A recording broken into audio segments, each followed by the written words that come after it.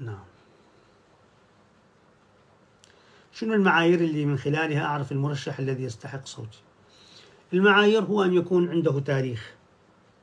تاريخ يعني وظيفي يكون دليل على نزاهته وفي نفس الوقت يكون إنسان إلى القدرة أن يخدم الناس. يعني يكون عنده رؤية يكون عنده فد خطة. يعني الآن أنت شلون نجي ونلقى قدامنا مشكلة؟ يجي واحد بنفسه بنص المشكلة وما يدي ما عنده خطة شو راح يسوي؟ والله يحل المشكلة. نقول له إيش تسوي؟ يقول لك هاي يصير بالنص يصير بالنص ممكن تنكتب. لكن يكون عندك حل. شنو الحل؟ يكون عندك حل. يكون عنده حل يكون عنده رؤية. ويحاول أن يعني يكون عنده رؤية لها علاقة باحترام القانون. لأنه البلد البلد الآن وفي كل وقت طبعا الآن وفي كل وقت هو بحاجة إلى احترام القانون. وهذا هو الحل ماكو غيره. يعني بالنتيجة إذا إذا واحد يقول لك إحنا كنا نسوي فد شيء آه، بالقوة لا هذا ما يفيد. لأنه بالنتيجة القوة هاي ممكن. أنت تحرك هذا وذاك يحرك هذا وتخلص. تخلص القضية بدماء وهذا أبدا ما مرضي بالله سبحانه وتعالى. دورات مجانية شنو دورات دينية مجانية؟ طبعا إذا قصدك الدورات الصيفية طبعا موجودة.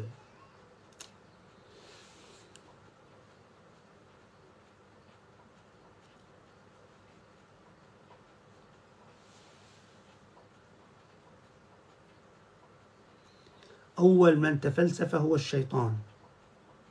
آه. الرواية تقول أول من تفلسف هو الشيطان. أول.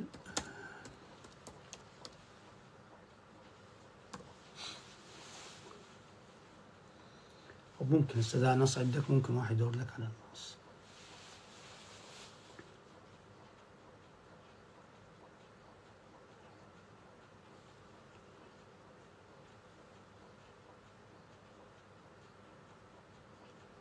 عزيزي بالنسبة إلى قضية إحياء الموتى. نحن نتحدث عن عن التوصيف مو عن مجرد القدرة. عندما نقول بأن الإمام قادر على فعل بعض الأشياء هذا لا يعطينا الحق بأن نصفه بال, بال... شلون إحنا نقول بالمشتق. المشتق اللي هو مشتق هذا الفعل. فقضية حصول مثل هذه الأفعال من قبل بعض يعني من قبل بعض الأئمة عليهم عليهم أفضل الصلاة والسلام آه، مجرد حصولها ما يعطينا الحق في أن نقول عنهم أنهم فعلوا ذلك وهم فاعلون لهذا الفعل لأن هذا مو عملهم أساسا.